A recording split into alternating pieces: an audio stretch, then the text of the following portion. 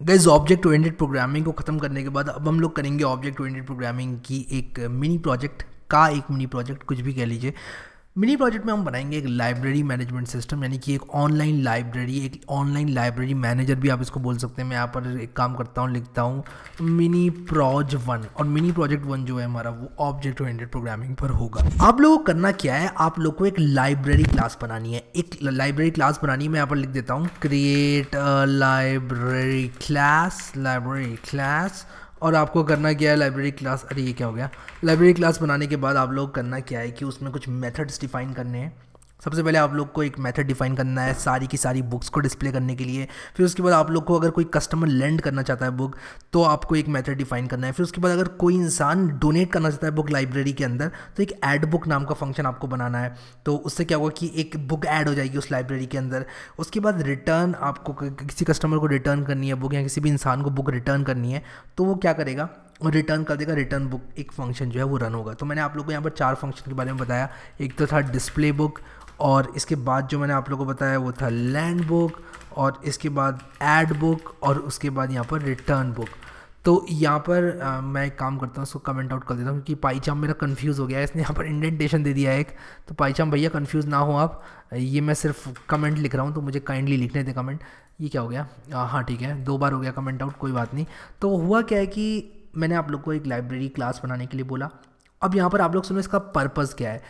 ऐसा हो सकता है कि मान लो मैं एक इंसान हूँ, मैं इसी क्लास का इस्तेमाल करके एक लाइब्रेरी बनाऊँगा।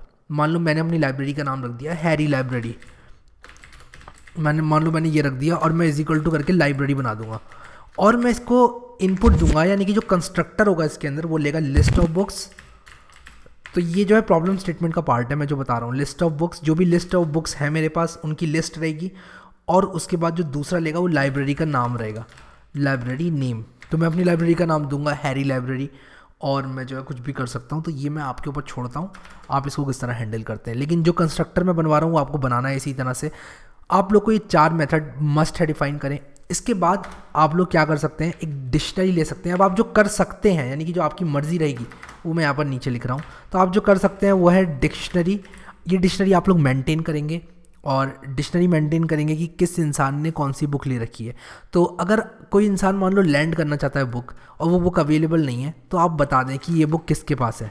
तो who owns the book if not present in the library ठीक है, अगर कोई बुक लाइब्रेरी में नहीं है तो वो बता दें कि कौन उस बुक को ओन करता है, कौन अभी बुक लेके बैठा हुआ है। इसके बाद आप लोग ये डिक्शनरी में क्या करेंगे? की वैल्यू पेयर्स क्या रहेंगे?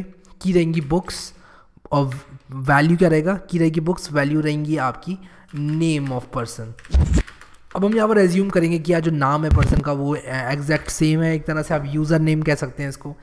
एक कस्टमर का यूज़र नेम सेम रहेगा। जब आप ऐड करेंगे बुक तब क्या होगा किसने दी है बुक ये भी आप मेंटेन करने की ज़रूरत नहीं है, खैर, ये चीज़ तो लेकिन जब भी जो है आप किसी को लैंड करेंगे तो आपको जो है डिक्शनरी में अपडेट करना है और लैंड बुक जो फ़ंक्शन है वो इंसान का नाम पूछेगा कि भाई आपका नाम क्या है। तो हम एक तरह से यहाँ पर एक चीज़ एज्यूम करेंगे कि कोई भी सिस्टम को एब्यूज़ नहीं करेगा, क्योंकि सबसे बड़ी चीज़ जो होती है, अभी कोई आप सिस्टम बनाते हैं तो उसको एब्यूज़ कर सकते हैं लोग रन करते जाएँ फ़ंक्शन वो सब। तो हम ये मानकर चलेंगे एजम्पन है और जो जो कि बहुत अनरियल एजम्पन है कि सारे लोग जो है इंसानों की तरह बर्ताव करेंगे। जैसे मान लीजिए मैंने कोई एक वेबसाइट बना दी, मान लो यूट्यूब के नाम से वेबसाइट बना दी, और उसमें मैंने जो डिलीट फ़ंक्शन है वीडियो डिलीट करने का फ़ंक्शन वो पब्लिक कर दिया। क्या लोग चुप बैठेंगे? नहीं गैस लोग चुप नहीं बैठेंगे। लोग एक दूसरे के वीडियोस डिलीट करेंगे, जो बड़े बड़े वीडियोस हैं, जो मिलियंस में व्यूज़ जा चुके हैं, उनको डिलीट करेंगे। तो इसलिए एब्यूज़ जो सिस्टम का है, वो सबसे पहले मद्देनज़र रखते हुए सिस्टम को बनाया जाता है। कोई भी सिस्टम बनाया जाए। तो यहाँ पर हम एज्यूम करेंगे कि सारे लोग इंसान हैं, यानी कि सारे लोग इंसानों की तरह बर्ताव करेंगे, जानवरों की तरह कोई बर्ताव नहीं करेगा, और सब लोग सिस्टम को यूज़ करेंगे एब्यूज़ कोई नहीं करेगा।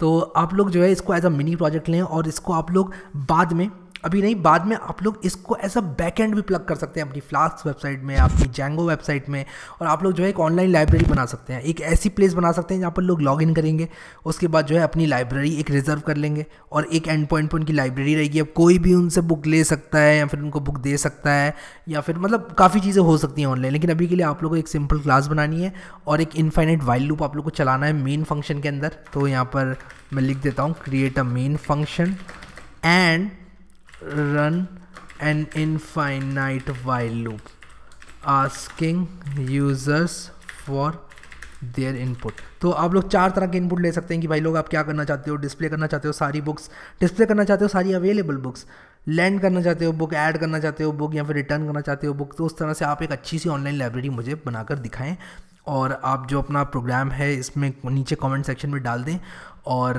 जो है, बिल्कुल आप लोग का जो है काफ़ी अच्छी प्रैक्टिस हो जाएगी। और मैं आशा करता हूँ कि आप लोग को एक क्वेश्चन पसंद आया होगा। तो यहाँ पर ये लाइब्रेरी जो है, काफ़ी काम आने वाली है। अगर हम लोग इसको बाद में कहीं प्लग करना चाहें अपनी जैंगो या फ्लास वेबसाइट में। गैस अगर आप लोगों ने अभी तक ये पाइथन प्रोग्रामिंग की प्लेलिस्ट को एक्सेस नहीं किया तो काइंडली जाएँ।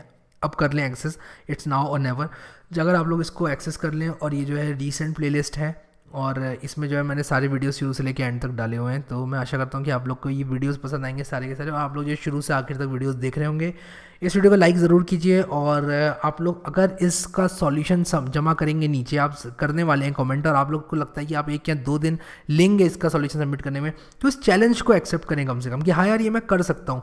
कमेंट करें नीचे, मुझे कमेंट सेक्शन में लिखें कि आई एक्सेप्ट द चैलेंज मैं देखता हूँ कितने लोग करेंगे और मुझे पता है उन लोगों का नंबर बहुत कम होगा जो कि लिखेंगे नीचे कि आई एक्सेप्ट द चैलेंज तो आप लोग नीचे कुछ भी लिख रहे हैं, आप आई एक्सेप्ट द चैलेंज लिखें और आपके क्या व्यूज़ हैं इस क्वेश्चन के बारे में मुझे बताएँ.